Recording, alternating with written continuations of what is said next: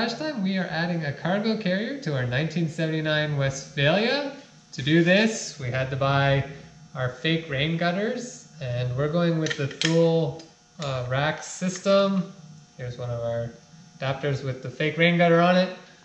Bars are already placed. We've got the rack up there deciding where we want it, but we're gonna go ahead and get these installed now, and we will show you how we're gonna go ahead and do that. Okay, so looking at the side of the bus here, I've put some tape. We've just set the cargo box up here to make sure that it aligns. We've got the back rack up so that the bikes don't hit it when it's up.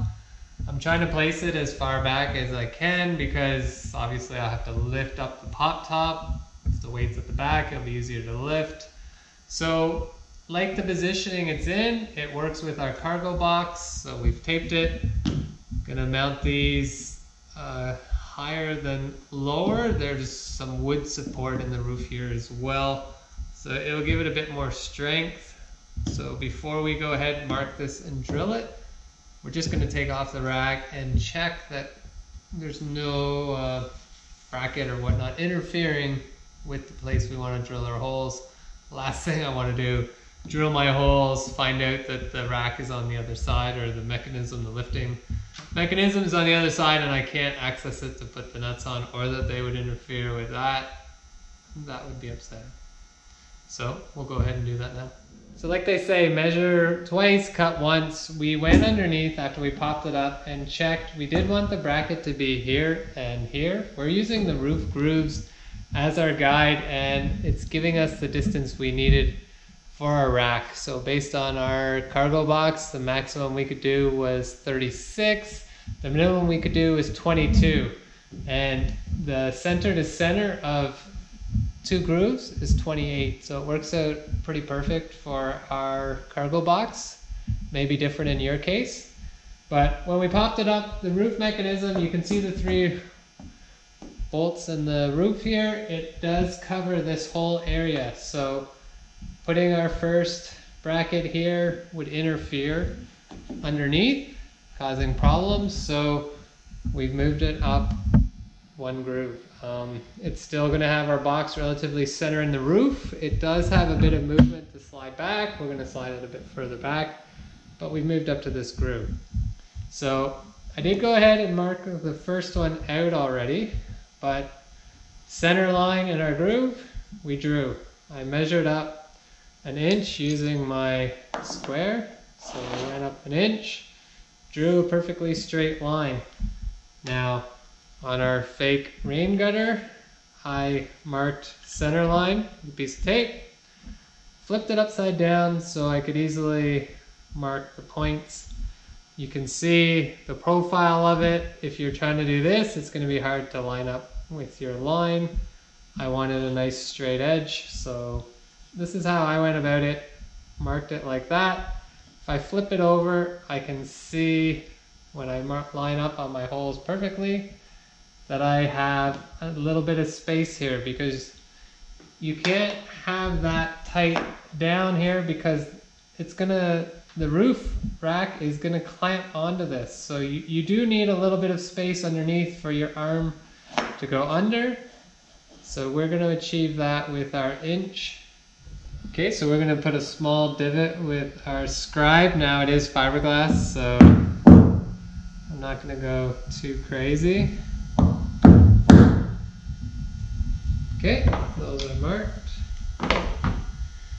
Now, obviously I have a nice top. I'm going to put a piece of wood behind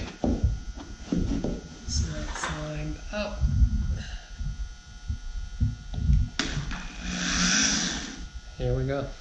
No turning back now.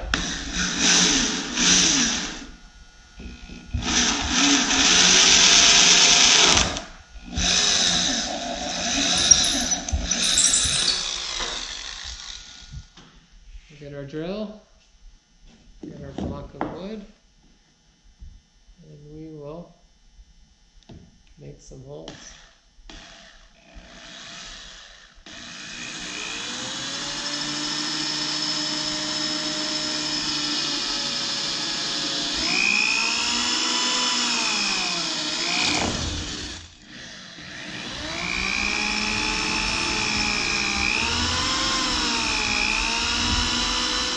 Get both holes drilled and after further inspection, I misspoke. So the wood is actually just above that. I'm actually just through fiberglass here as well.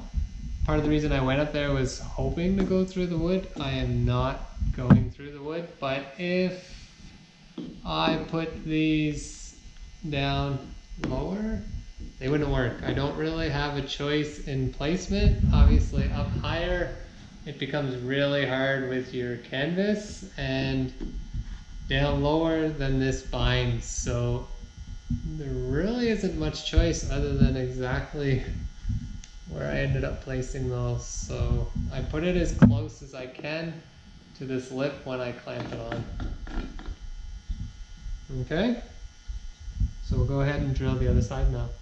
Alright, so the false rain gutter kit from Thule came with fairly long bolts and just regular nuts, but we decided to buy the acorn style uh, just in case anything does wipe on this, which it will because this is going to compress as you put it down. You'll have lots of extra material, so we'll go ahead put the acorn behind. Okay, so we got the acorn tightened on the back. If I measure how far I'm sticking out here, I know you can't see from your angle, but I'm about 5 eighths out. So I will take this off.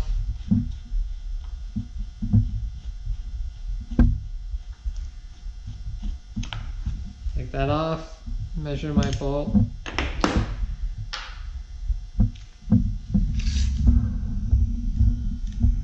So thread wise, um, I'm about an inch and a half, so take off 5 eighths and that will be the length of the bolt we need. Alright, so we'll go get some new hardware and get all these mounted up.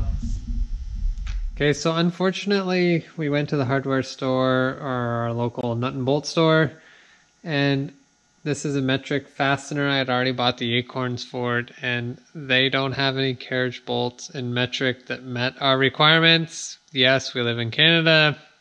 Yes, it's hard to find metric hardware here. Most of our stuff's imperial. So we have decided the best bet is to cut these. So using the vise, setting the length that we need. So I already measured the length that we need we have our template. And we're going to go ahead and cut all eight pieces of hardware. And just reuse the same one so cutting it. If you haven't done it before obviously it's best if you have a nut that you put on so that when you thread it off if you did anything funky to your thread. So there there's my sizing one. I've got it to size in the vise.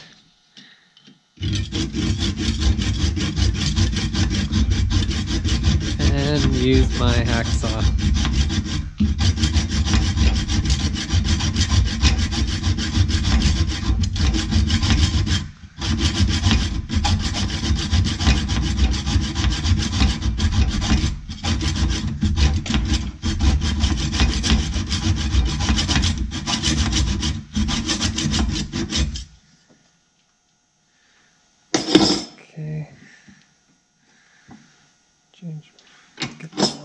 Little bit.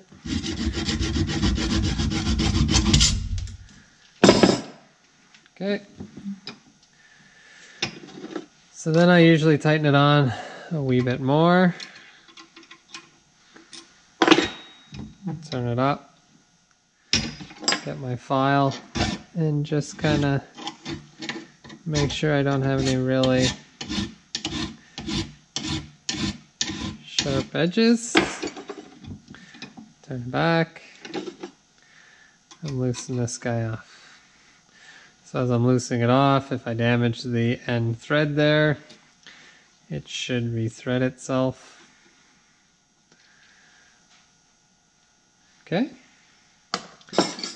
And repeat times eight.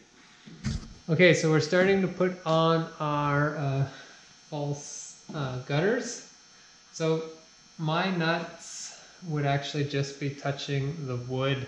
So I have to take my drill and actually just do a little bit of a notch on the inside so that my nut will fit in behind.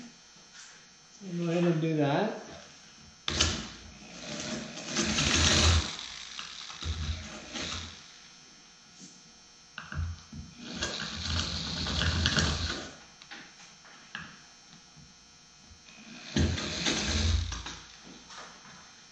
Okay. So not a huge notch, just enough that your acorn nut can fit apart. Does that look good there now? So I'm going to add a little bit of silicone seal just around the hole itself.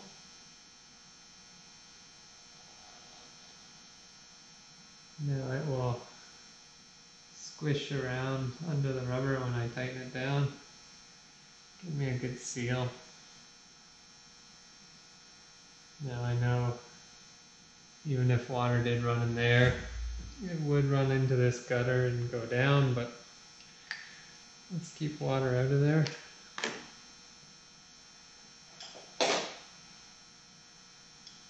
Okay, so we already got our rubber on. Two of our pre-cut bolts through.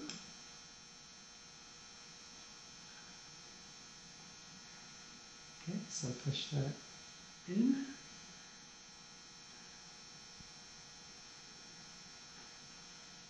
So we went ahead, got those, they're nice and tight.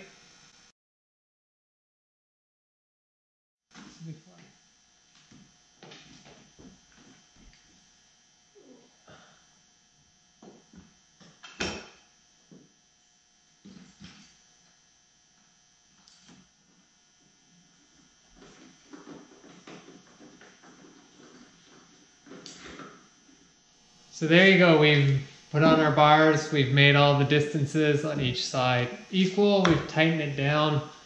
All we have left to do is put on our plastic little end caps and